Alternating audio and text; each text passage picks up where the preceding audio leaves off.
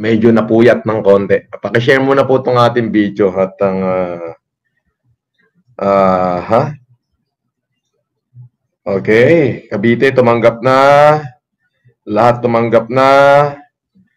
Okay. Ay, magandang magandang araw po sa inyo lahat. At uh, pasensya na po kayo, medyo hinapon ho ako kasi medyo nahirapan ho tayo. Marami tayong pinasisi, pinapacilitate na bigas ngayon.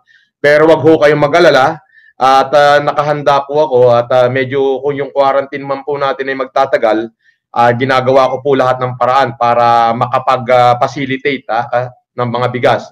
Ako ay nagpapasalamat sa nagpapasalamat ho ako sa mga taong mga mga kasama ko at uh, kahit ano yung uh, ibinabato sa atin ng mga pambabati ko sa hindi nasisiraan ng loob ha bagkus eh talaga namang uh, buhay na buhay. Ya? At uh, kayo po ang nagbibigay lakas at buhay sa amin. Ha? Mahal ko po kayong lahat. Ha? Uh, may magandang balita ho ako. Uh, nakita ko ho yung aking YouTube channel ay ang estimated po na income niya ay nasa 2 to 3 million dollar a year. Nakita ko po. Yung estimated income. So malaki ho yun. Ha? Uh, hindi ko po ito inaasahan na ito ay mangyayari. Pero ito pong kikitain na to sa YouTube ay ibibigay ko talaga sa mga tao. Ah, totoo ho yun. Kaya sabihin nyo sa mga kaibigan nyo, subscribe na sa aking channel at uh, para sa inyo, yung inyo po kasing subscription sa akin ay uh, ano yan eh, uh, yan ang ambag nyo ha, sa aking ginagawa ngayon. Ayan. Ika nga eh, sa maliit na kapamaraanan, eh, malay, binigyan nyo ako ng like, uh, sinubscribe nyo ako, pak, ikinalat nyo to, eh yun naman po yung aking sinasabi na uh, yun yung inyong uh, yun yung inyong tulong sa akin. Yan. Hindi ko kailangan na magpadala kayo ng donation sa akin. Hindi. The more na mas marami ako natutulungan, the more na mas marami kayong yung subscriber at maraming likes, aba, mas marami ho akong matutulungan. yan. Pandagdag ho yan, ha? anyway. Nakita nyo po. Eh, this is not my intention. Pero kung gusto ko patunayan ko sa inyo na kung ano yung sinasabi ng Biblia ay totoo. Totoo po. Na kapag binuksan mo ang iyong puso para sa maliliit na breted, bubuksan ng Diyos ang durungawan ng grasya ng langit sa iyong tahanan. Bakit po? Eh hindi ko po expected estimated revenue ko po a year 3 million to 4 million dollar dito pa lang sa YouTube channel. Ngayon pa lang ho, kikita na ako ng 88,000 dollar. Ngayong first 3 weeks ko pa lang. Ewan ko kung totoo ho yung sinasabi ng mga technician ko. Pero nyo, 88,000 US dollar. 4 million yung first 3 weeks ko sa live stream. Eh, pero ito po yung sasabihin ko. Eh, yan ho, lahat ay itutulong ko. Hindi ko rin naman ho kailangan. Uh, di ho ba? Uh, ang dami ho naiinggit. Ang dami pong nagtatangkang mag-hack ng account ko. Eh, nagkataong marami akong magagaling na technician dito sa palibot ko. Kung ano-ano yung ginagawa nila. May mga panayang padala ng password sa akin. Eh. Ha? Nakita nyo? Ayun.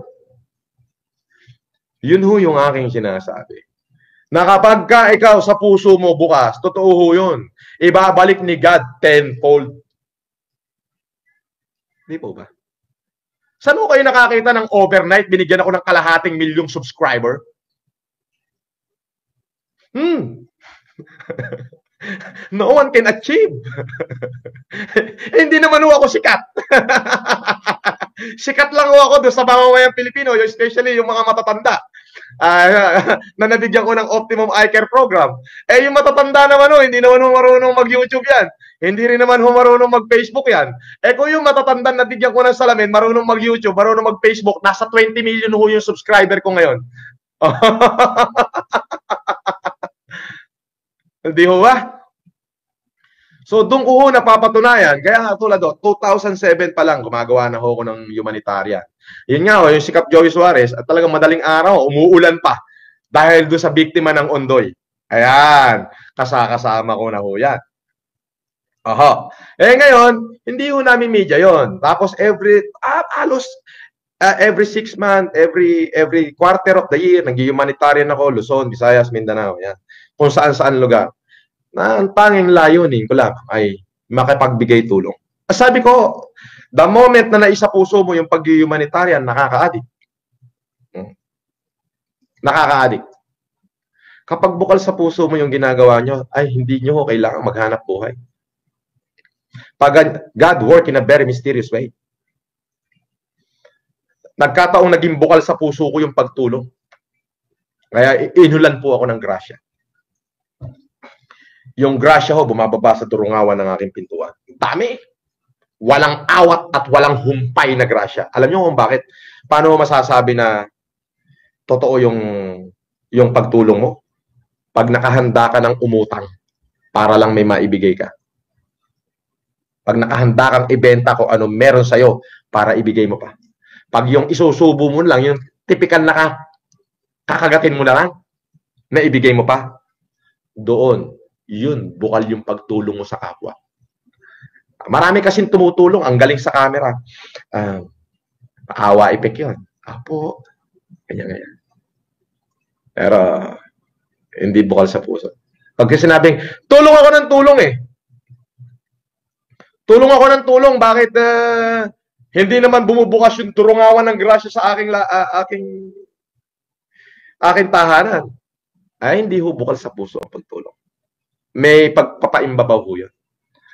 Subukan nyo yung tumulong. Yung bukal sa puso, pikit nyo yung mata nyo. Tapos pagdilat, medyo takpan nyo lang yung tenga nyo. Baka may bumulong na demonyo eh. Takpan nyo tayo. Pikit kayo saglit. Takpan nyo yung tenga nyo tsaka kayo tumulong. 1,000%. Bubuksan ng Diyos yung durungawan ng grasya sa langit. Sa tahanan mo.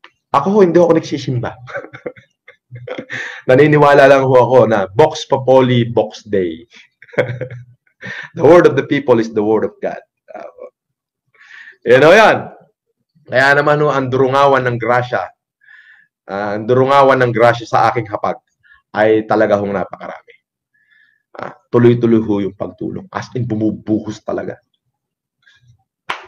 Kailangan isang tapat na paggawa. Kailangan totoo. Hindi puro ngawa. Hindi puro kuda. Hindi puro dakta. Ako po'y natutuwa at nagkakasundo na po ang, ang, ang ating gobyerno. Nakita po natin na nagtutulong-tulong na.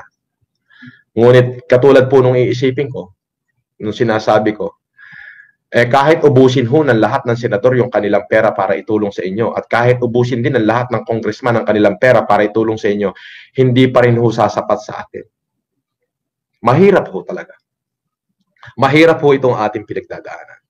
Pero dito po sa Bayaman Challenge, ah, dito po sa Bayaman Challenge, kung saan lahat ng ordinaryong mamamayan ay gumagalaw, makakasurvive po tayo. Makakasurvive po tayo. Yun po yun. Huwag na po natin sisihin ng ating gobyerno, huwag na natin sisihin yung mga senador at yung mga congressman. Although uh, sila yung dahilan, uh, sila ang ating sandigan, sila ang ating amat, sila ang ama ng ating lipunan, sila ang ating mga kuya, ah, mga kuya at ate. Pero kahit magsama-sama ho sila, eh ang kalaban ho natin ay epidemya. So higit sa lahat, para magiging makaahon ng isang tahanan, hindi lang yung tatay ang kikilos, hindi lang yung nanay, hindi lang yung ate, hindi lang yung lolo, hindi lang yung lola. Dapat pati mga apo at mga anak at mga pinsan, kumbaga tayo yon nasa lilayan, ay tutulong. So kapag tayo lahat ay nagtulong-tulong, malalampasan ho natin to. Uunahin ko, medyo sarcastic, medyo sarcastiko yung aking pasimula. Medyo sarcastiko kung paano ko siya sinimulat. Pero at the end of the day, tagumpay po tayo. At ang tagumpay ko ay tagumpay ng mamamayang Pilipino at tagumpay din po ng ating gobyerno. Ulitin ko po at ako po'y mananawagan para sa lahat ho ng kuda ng kuda dyan. Tigil muna kayo. Ah, wag muna kayong pasikat. Ha? Tama na muna ako na yung sikat. Ha? Tama na muna ako yung sikat. ako yung pasimuno eh. Di po. Yan ay biro lang. Tigil muna tayo. Tigil putukan muna tayo. Lahat ng bala natin, ilabas natin dito sa kalaban natin, si COVID-19. Yan. Ako, Wala, ceasefire ho ako sa tao. Kumbaga, all out war ako against kay COVID-19. Eh. All out war ako against COVID-19. So tayo, sama-sama, all out war tayo. Ha? Isa kalaban natin si COVID.